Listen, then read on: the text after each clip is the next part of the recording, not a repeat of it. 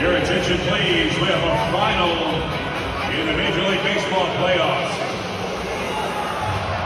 Chris Taylor with a two-run walk-off homer to send the Dodgers to a 3-1 victory over the Cardinals and the Dodgers.